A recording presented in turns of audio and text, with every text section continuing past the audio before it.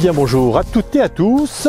On l'a déjà dit, la qualité génétique des animaux est essentielle pour la qualité de la production, de la productivité du troupeau et du revenu des éleveurs. Aujourd'hui, nous allons revenir sur la période charnière qui a vu le retour de la race Frison des États-Unis et du Canada en devenant la race Holstein. Cette phase est devenue essentielle pour une majorité d'éleveurs laitiers, pas seulement en France, mais pour l'ensemble des bassins laitiers de la planète. On pourrait dire de la Nouvelle-Zélande en passant par l'Australie, Israël, etc. Aujourd'hui, nous allons voir concrètement comment la race a été adoptée par les éleveurs français il faut se souvenir qu'au début des années 70, la sélection de taureaux se faisait au travers de deux critères importants, l'origine, donc les qualités laitières de la mère euh, et la qualité globale des ascendants, et de la morphologie. À ce titre, le pointage des animaux aura une large influence sur les orientations de la race certes dictée par les besoins. Cette race, originaire de l'ensemble de la côte le long de la mer du Nord, va donc faire le voyage vers l'Amérique du Nord dans les bateaux des commerçants hollandais autour des années 1880-1890, on va dire 1900. Pendant ce temps, les éleveurs français commencent à découvrir cette race dite hollandaise, qui va d'ailleurs s'appeler la Frisonne, du nom d'origine de sa région, L'appellation de la race est jusqu'en 1990 la FFPN, c'est-à-dire la française frisonne pinoire, avant de devenir la race Primolstein. C'est à partir du début des années 60 que le voyage de cette race va se faire dans le sens inverse des États-Unis et du Canada vers l'Europe, et notamment la France, avec des caractéristiques laitières et de morphologie bien différentes de celles qu'elle avait au départ.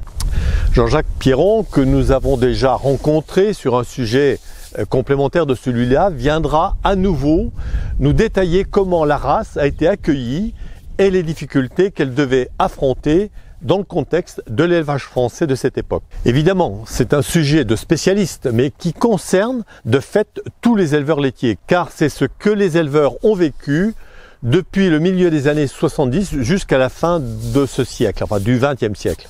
Mais on sait que ce n'est pas fini. Nous aurons, c'est sûr, l'occasion d'y revenir afin de traiter ce qu'est aujourd'hui la génétique laitière.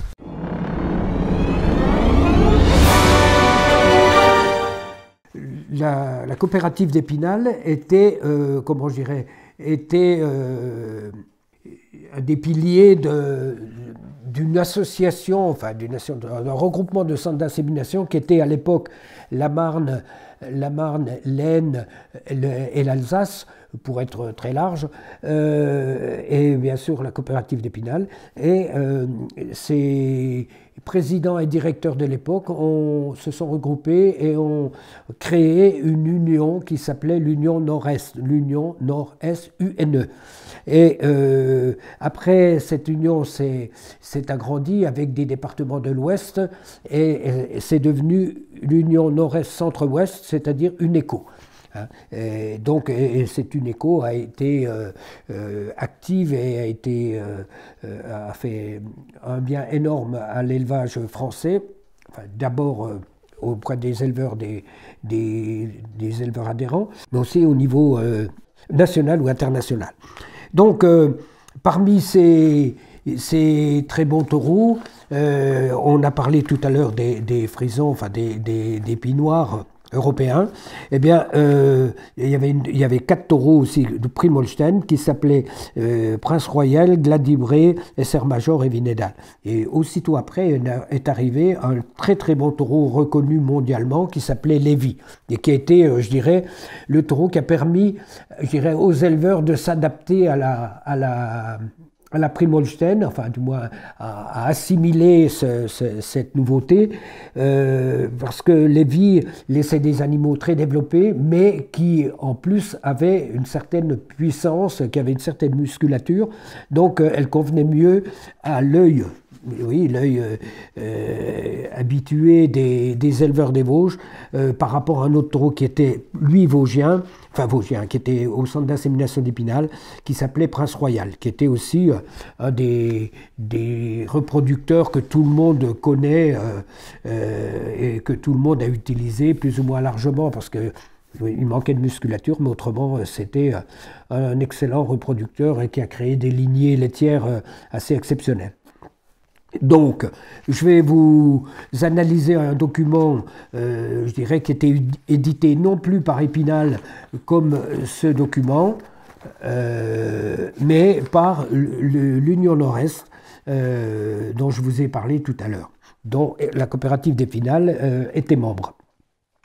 Et donc, euh, ce, le, ce, taureau, là, Lévy, hein, je vous ai dit qu'il était mondialement connu, eh bien, euh, si vous voulez, c'est un taureau euh, Holstein du Canada, hein, qui était né au Canada, hein, qui avait un père, un cornet de 7 centurions médailliste, euh, c'était un excellent reproducteur. Euh, et euh, comment je dirais, il a été acheté jeune, très jeune, à quelques mois, et il a été mis, il a été élevé au centre d'insémination de Pierry dans la Marne.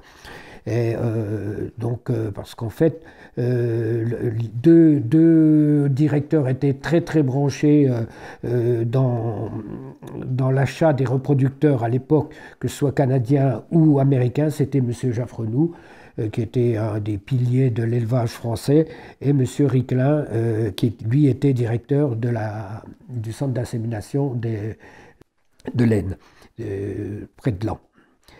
Et, donc euh, ce fameux Lévy, hein, donc on a son nom, son numéro, euh, son pointage, c'est-à-dire euh, un pointage de lui-même. Hein, c'était un pointeur du Airbook à l'époque Frison qui venait les mensurer dans les centres d'insémination et qui leur donnait une, des notes de, taille, de, musculature, de hauteur au garrot. À l'époque, euh, il faisait 163 cm. Euh, c'était grand, mais aujourd'hui, euh, les Holstein sont encore nettement plus grands.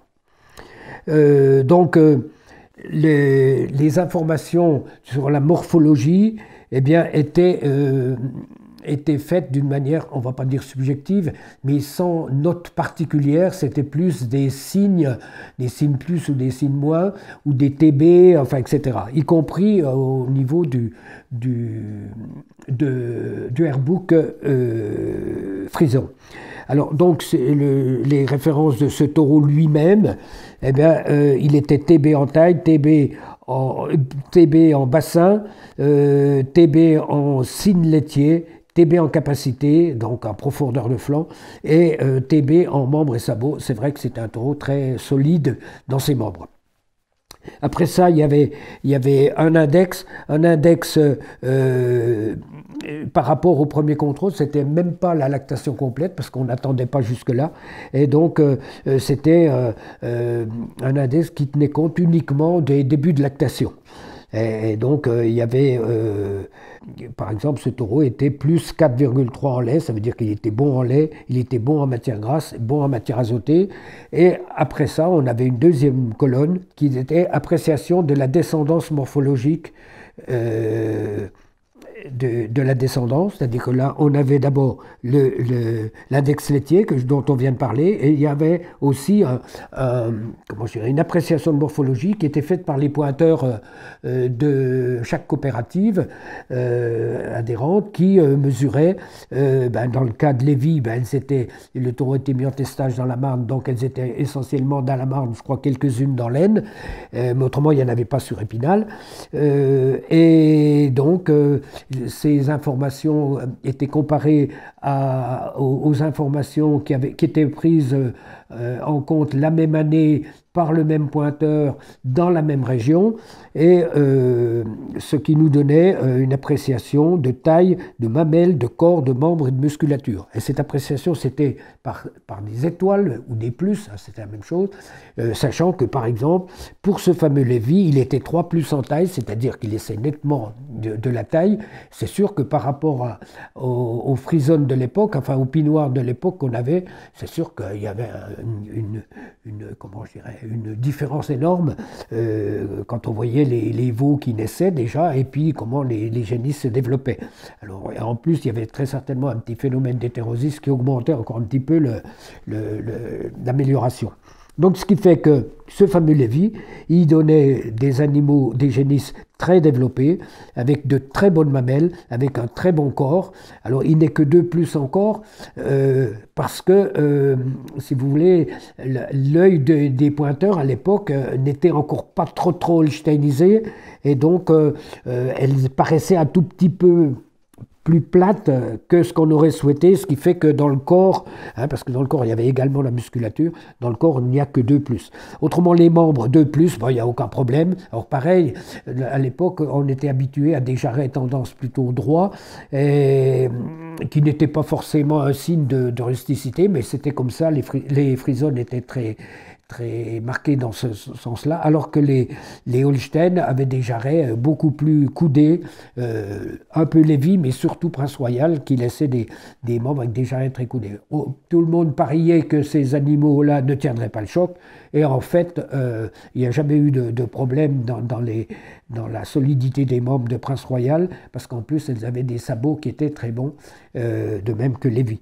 En fait, les, membres, quand il y avait un souci, c'était plus au niveau des pieds, surtout que dans certaines souches de Hollande, notamment un ancien, euh, surtout Frison, un ancien taureau qui s'appelait Tommy, et qui laissait des, pattes absolument, c'était du gruyère, et on avait énormément de problèmes de, pied euh, derrière la descendance de ce taureau.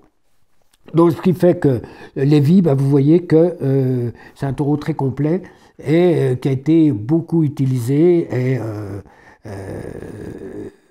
donc il y, avait en plus, euh, si vous voulez, au niveau des mamelles, des, des comment je dirais, du détail euh, dans les attaches avant, l'attache arrière, l'équilibre, l'implantation des trayons, la forme des trayons et la traite euh, qu'on a sur un autre, une autre grille. Et donc il laissait, on l'a dit, des très bonnes mamelles puisqu'il était 3 plus en attache avant, 3 plus en attache arrière, 3 plus en équilibre, 1 plus en implantation de trayons, 1 plus en forme et 1 plus en traite. Donc c'était le taureau idéal qui a été largement utilisé et qui, euh, du moins pour les éleveurs qui étaient prêts à, avoir leur, leurs installations, euh, je dirais, euh, se voir caduques caduque assez rapidement puisque les animaux étaient nettement plus grands et dans les stalles courtes ça posait, ça posait des problèmes. Mais bon, très vite sont arrivées les stabulations libres où les vaches étaient, vivaient librement sur une aire paillée ou sur des logettes, ce qui fait que ce souci de taille euh, euh, je dirais, euh, c'est réglé, un peu par la force des, choses. D'une part, par l'augmentation des troupeaux, souvent, hein, c'était l'époque, et, les nouvelles installations qui ont été mises en place à, cet égard. Et, donc les animaux étaient prêts à, à, s'éclater dans, dans, ces nouvelles installations. Et en plus des nouvelles installations de traite aussi. Parce qu'à l'époque, il y avait des gros problèmes aussi de, de treilleuses. Enfin, de, de treilleuses, c'était des pots suspendus souvent, et euh, avec des, des pompes à, lait qui étaient à air qui étaient souvent déficientes euh, et, donc ce qui posait des, des problèmes de, de, de traite. La, la, facilité de traite était presque trop, trop bonne pour les installations de l'époque. Voilà. Il n'a pas été tellement utilisé, euh, bon, il y, a, eu quelques fils, il n'a pas été tellement utilisé euh, euh, en tant que père à taureau. on utilisait plus, comme les, les taureaux étaient étaient essentiellement, euh, comment je dirais, euh, ils venaient acheter, ils étaient essentiellement achetés au Canada, aux États-Unis. Donc, si vous voulez, on, a, on avait plus d'autres lignées, parce que là aussi, il fallait faire attention euh, à la consanguinité, donc ne pas réutiliser trop, trop près des, des, des fils de, de, ces champions, enfin de ces très très bons taureaux. Ce qui fait que on a, il a été très, très porteur au niveau des femelles, énormément de femelles, mais pas forcément au travers de fils. Je vous dis à la prochaine fois, un petit pouce bleu, et puis si vous avez aimé, eh bien ma foi, euh, un petit commentaire peut faire plaisir, et dans tous les cas, abonnez-vous, euh, ce qui permet de renforcer la chaîne et puis d'être mieux partagé. Au revoir